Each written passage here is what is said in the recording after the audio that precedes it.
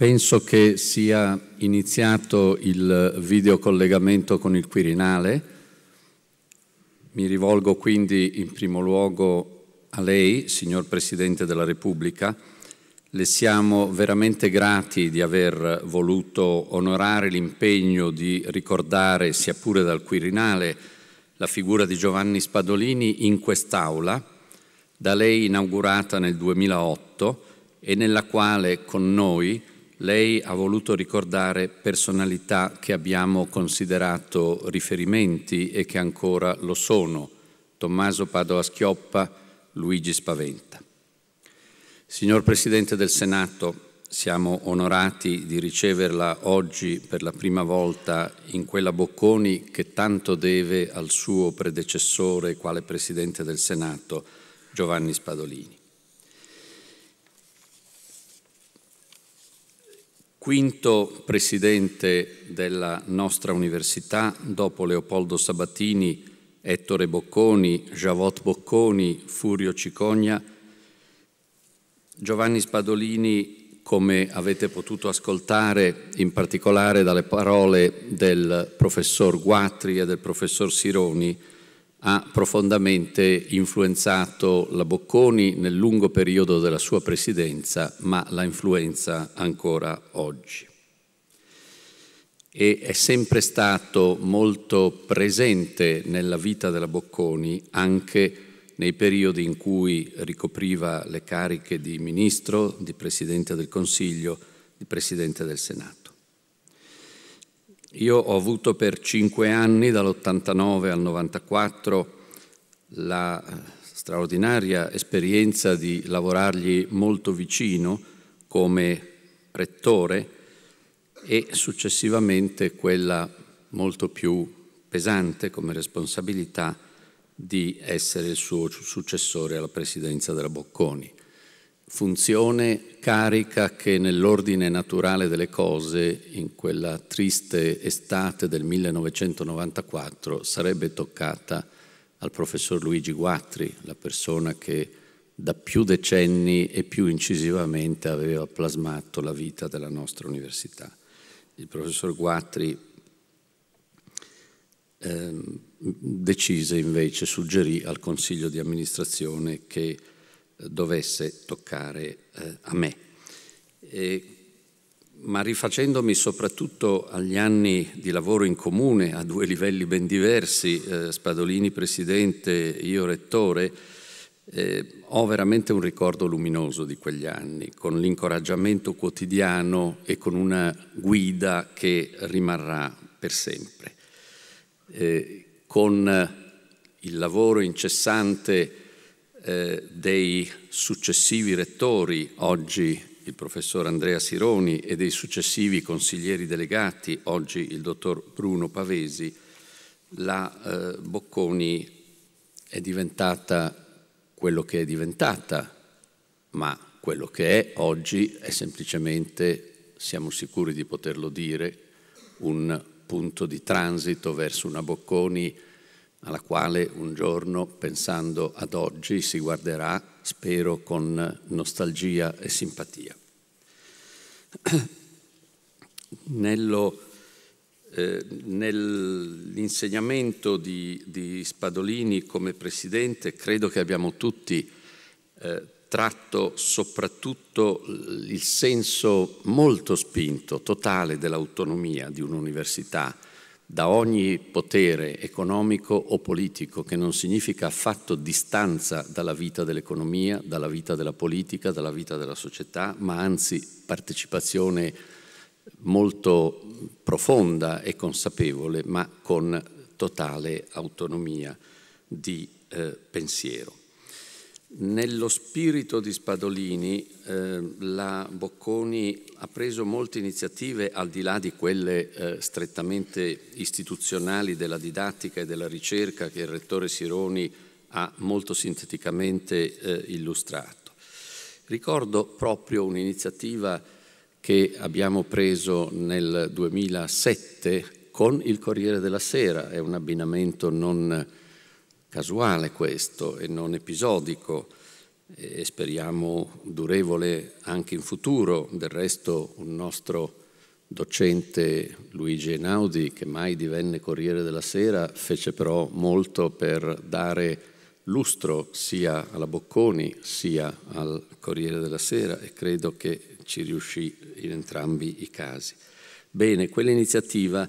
la intitolammo Economia e società aperta, era il 2007, sembrava di essere in periodo di globalizzazione e integrazione prorompente e senza limiti e senza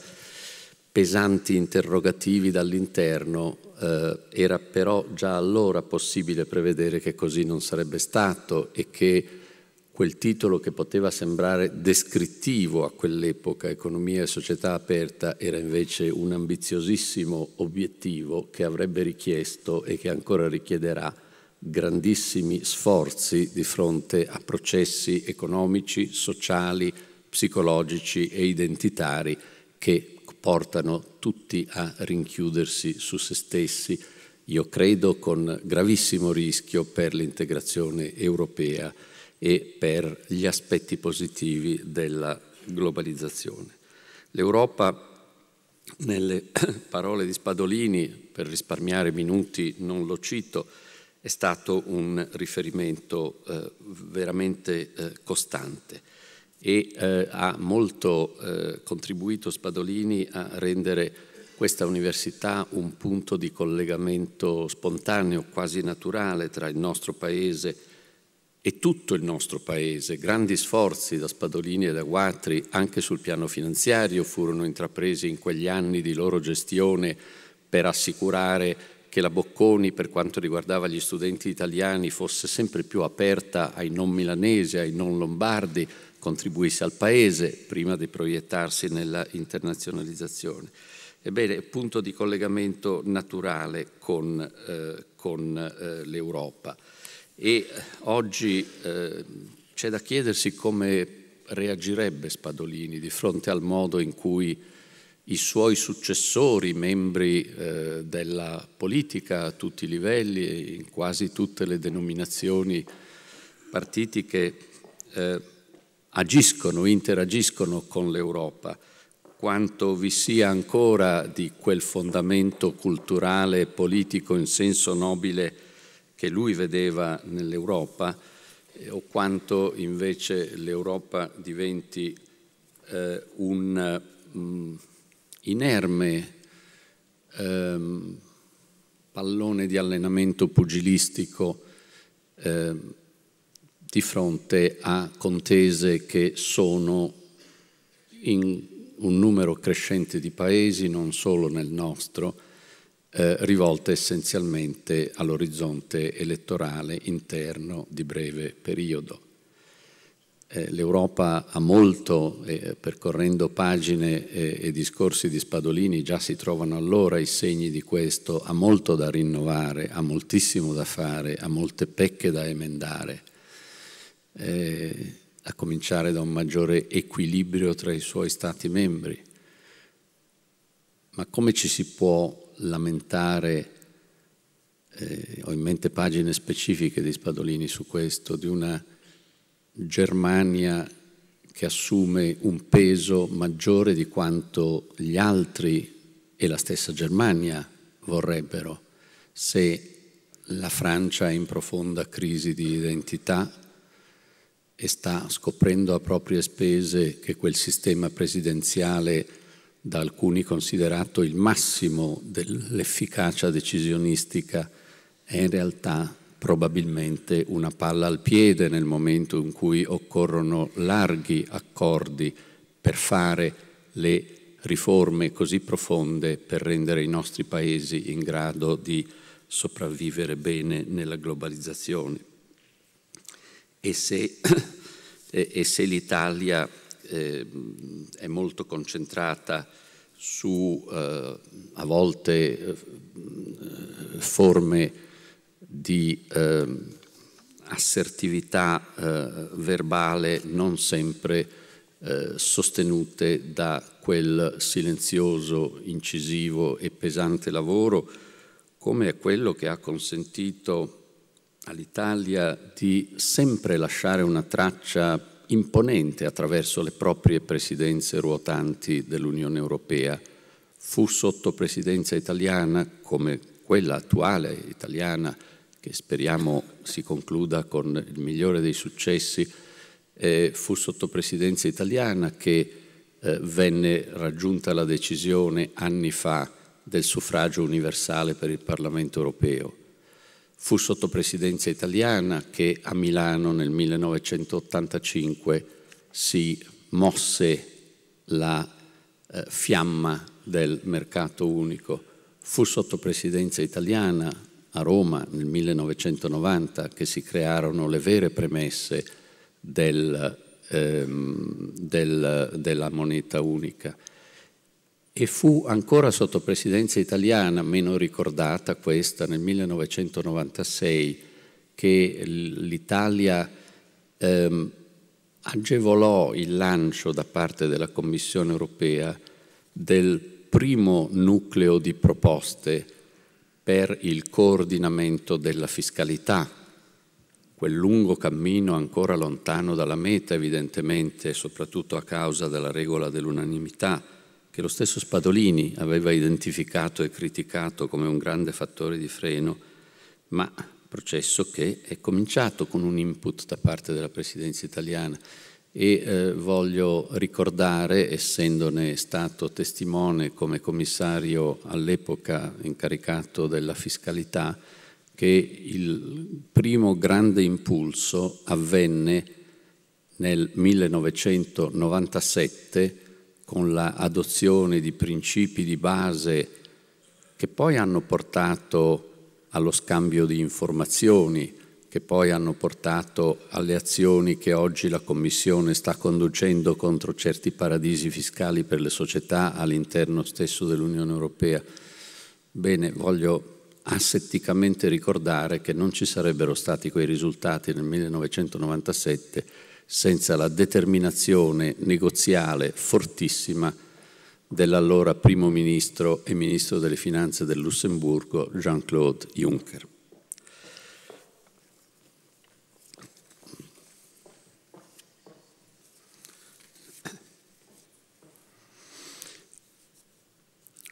Signor Presidente, credo che adesso lei sia eh, collegato, eh, le ho rivolto a nome di tutti all'inizio eh, alcune parole eh, di un calore che lei può immaginare e che non ripeto sia per la sua sobrietà sia per non abusare del tempo qui nell'aula magna che è quella, questo voglio ricordarlo, che lei inaugurò nel 2008. Europa Bocconi, Corriere della Sera, chissà se è lecito a un cittadino lettore del Corriere della Sera da tanti anni e che ha avuto la fortuna di scrivere su quel giornale per tanti anni, notare con ammirazione che il 3 maggio del 1998, direttore Ferruccio De Bortoli, primo e forse unico quotidiano in Europa, il Corriere della Sera, in occasione del varo della moneta unica, esibì nella propria testata il, la bandiera dell'Unione Europea. Nel marzo di quest'anno, forse per motivi pratici, non dico che sia stata ammainata, ma ci siamo accorti che non c'era più le bandiere si issano nei momenti in cui è più dura la battaglia. Troverei molto significativo, è un auspicio personale, se il Corriere della Sera oggi, in cui la battaglia è controcorrente e difficile come tante battaglie fatte e vinte nella sua storia dal Corriere della Sera, ripristinasse quel simbolo che non è un simbolo di compiacimento, ma che è un simbolo di impegno al quale l'Italia, credo, eh, possa e debba dare ancora grande contributo. Concludo anch'io con brevissimi ricordi personali. eh, circa il Presidente Spadolini? Beh, uno che credo sia stato vissuto da diversi dei presenti, eh, si svolse nella precedente aula magna della Bocconi, l'8 marzo del 2003. Eh, Avevamo invitato per,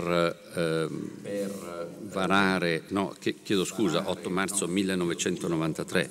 avevamo invitato per il lancio del corso di laurea in economia delle amministrazioni pubbliche e delle istituzioni internazionali l'allora Presidente del Consiglio Giuliano Amato. Poiché quel giorno eh, venne dopo una giornata nella quale il Consiglio dei Ministri aveva adottato determinati provvedimenti in materia di giustizia che non avevano proprio incontrato il plauso unanime, il Presidente Amato venne accolto nell'aula della Bocconi da eh, rumorose manifestazioni eh, critiche. E il Presidente Spadolini eh, si alzò e disse, vi prego ragazzi, Giuliano Amato, prima ancora che Presidente del Consiglio, è professore universitario. I Presidenti del Consiglio passano, i professori restano, smettetela di contestarlo. E i fischi si trasformarono in un grande eh, applauso, segno della capacità di presa del Presidente Spadolini eh, anche sui giovani che erano mossi da eh, intenzioni eh, critiche. Eh, un altro punto che voglio ricordare è, eh, ho detto del rapporto di grande devozione eh, da parte mia e, e di guida da parte sua che avevo col Presidente Spadolini quando ero rettore. Beh, forse posso ricordare eh, l'unica volta in cui si irritò con me, ma veramente molto, non pensavo che fosse eh, così potenzialmente irascibile. È un episodio che riguarda il presidente napolitano, al quale non l'ho mai raccontato. Credo che fosse il 1993, Spadolini, presidente della, del Senato, Giorgio Napolitano, presidente della Camera. Spadolini era in missione all'estero per qualche giorno, io ero rettore e ho letto in un giornale milanese che eh, il giorno dopo il presidente Napolitano sarebbe venuto eh, a Milano per una serie di impegni e eh, mi sono permesso, dopo che avevo avuto col presidente rare ma intense occasioni di conversazione di telefonargli per chiedere se potevo permettermi di invitarlo a colazione alla Bocconi. Il presidente Napolitano eh, accolse questo invito, avemmo una di quelle conversazioni che poi devo dire si sarebbero moltiplicate e approfondite negli anni successivi e eh, quando il presidente Spadolini lo venne a sapere, semplicemente perché io in modo innocente glielo dissi, veramente montò su tutte le furie. Montò su tutte le furie e credo che avesse ragione lui,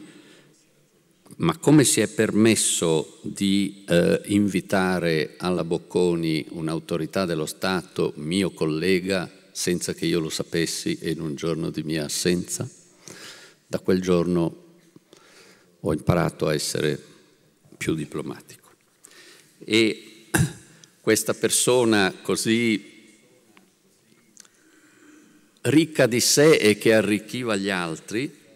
aveva anche la capacità di estendere la propria gioia agli altri, visti in fondo come parti di sé. E eh, ho trovato in una ricerca d'archivio destinata ad altro scopo una lettera, con la quale concluderò, di Spadolini, Presidente del Consiglio, eh, alla, al primo ministro britannico, signora Thatcher, è datata 30 giugno 1982. Dovevano eh, essersi incontrati a un G7 e scrive il presidente Spadolini, Dear Mrs. Thatcher, ricordando la nostra conversazione a cena ieri sera, sono felice di gioire con lei per la vittoria della nostra squadra di football sull'Argentina. Era il tempo della guerra nelle Falkland. Ehm, in attesa di vederla il 7 luglio a Roma per il nostro incontro bilaterale, sinceramente Giovanni Spadolini. Quindi la, eh,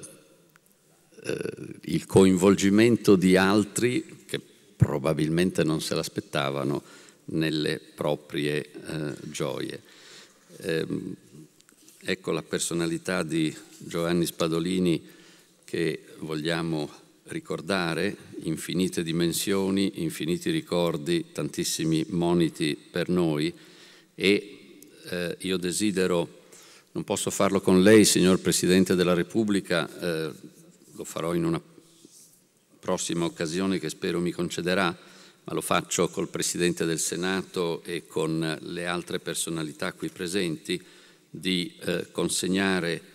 un libro intitolato Rileggere Spadolini, Storia, giornalismo, istituzioni e politica, università, che l'Università Bocconi Editore ha eh, con la Fondazione Corriere della Sera e con il contributo di memoria della Fondazione Spadolini e del professor Ceccuti voluto pubblicare in questa occasione. Grazie. Grazie.